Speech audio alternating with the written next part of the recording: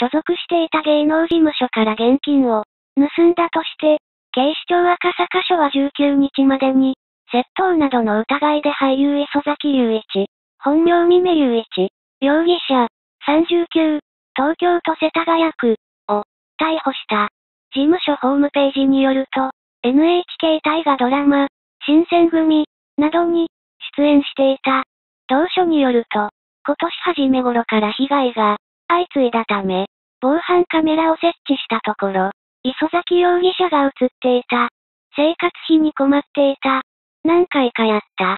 と容疑を認めており、当初はこれまでに約3万円を盗んだとみて調べる。逮捕容疑は5日午後8時過ぎ、港区赤坂4丁目の事務所に侵入し、机の引き出しから現金1000円を盗んだ疑い。よろしければチャンネル登録をお願いします。